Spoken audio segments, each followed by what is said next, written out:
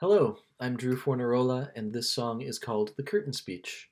I wrote the lyrics, and the music is by my dear friend Steven Silverstein. I hope you enjoy it.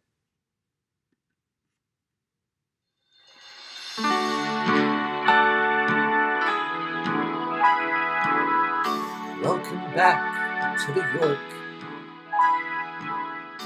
It's so nice to return from the sidelines but the current administration has drafted a few new guidelines due to an act of Congress approved this Tuesday morning.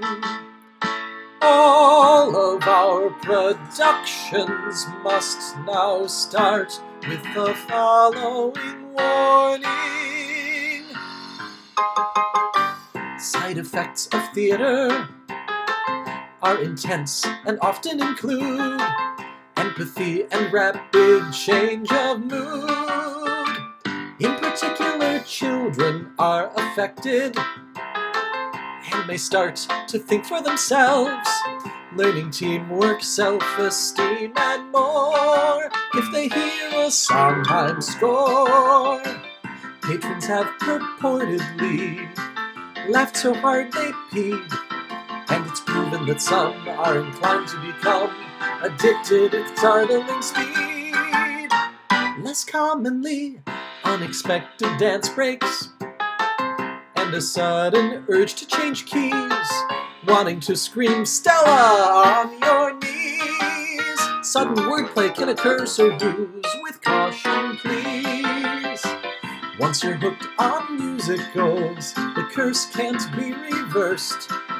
So if you are new, did you join the mailing list? We encourage you to consult with your dramaturg first. In summary, side effects of theater are severe, so please be aware. Certain shows can even make you care.